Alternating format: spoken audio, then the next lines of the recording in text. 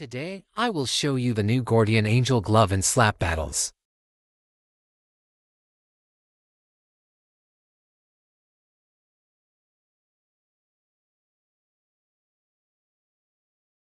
So when the glove's power is used it will save the closest player from dying for 10 seconds.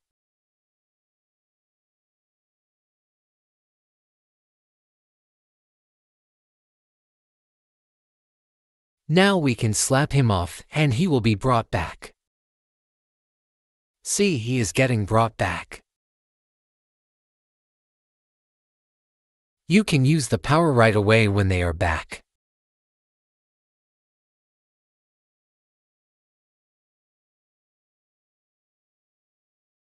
There are also ways to play games with your friends.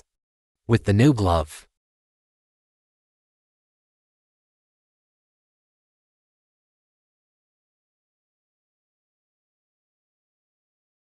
So that guys is the new glove I will see you next time peace.